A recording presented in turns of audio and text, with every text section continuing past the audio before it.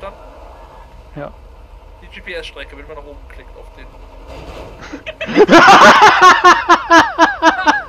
David, hör mal auf! Speicher das!